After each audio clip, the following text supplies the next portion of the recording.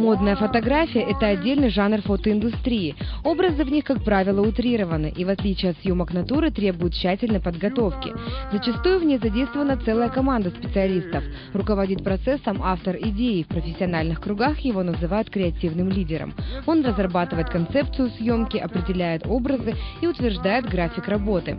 Опыт создания рекламного образа есть и в нашем городе. Два года назад маркетологам салона «Очки и мода» пришла идея создать имиджевую фотографию.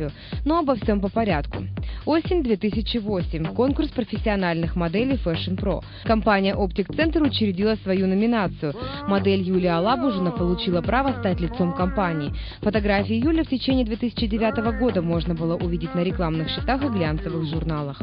Для нас самое главное создать образ. То есть нету цели рекламы там, очков, что здесь градиента, вот здесь используем там такой-то материал. Нет. Мы рекламируем образ.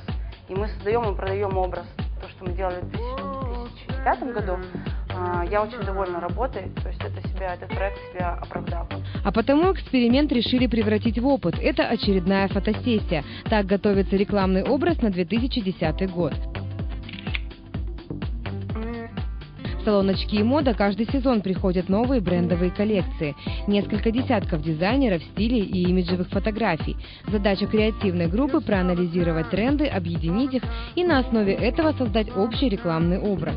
В итоге 12-часовой рабочий день. В процессе задействовано 7 человек. В расписании съемка 5 образов. Проанализировав все стили очков, которые присутствуют в оптик-центре, мы выбрали те а, очки, которые будут актуальны. Ну и, соответственно, выбрали мы самые модные направления. Первое направление это патриотическое Russian Trend, да, и сняли его в очень таком веселом формате. Это форма классическая, Шанель, Селин, Эскада, например, очки Эскада. То есть это классическая форма, белый цвет. Образы, на мой взгляд, самые яркие будут. Мы снимаем Нью-Йорк стайл, да, то есть это тема Макдональдс, тема Кока-Кола, всех вредных продуктов. Форма, и она актуальна уже пятый сезон, это форма капли. Каждый дизайнер использует эту форму. И с градиентом, металл и пластик.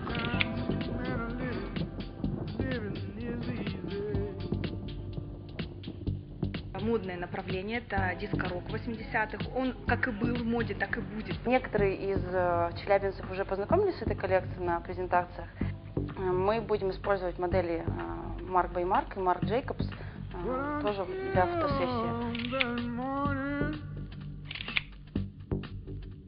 Мы сейчас готовим заданный образ э, вампиры. Но вампиры у нас в первую очередь ассоциируются э, что-то там с началом века, с концом века 18 19 начала 20 то не сказано сделать волны.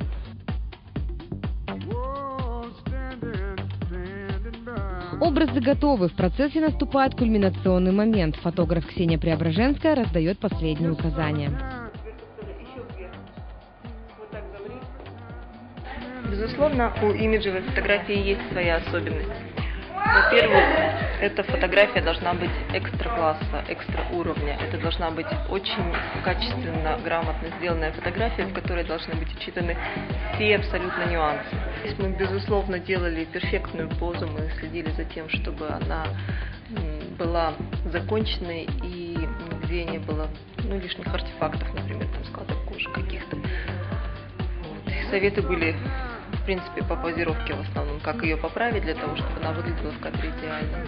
Еще лет пять назад жанр модной фотографии в нашем городе был совсем не освоен.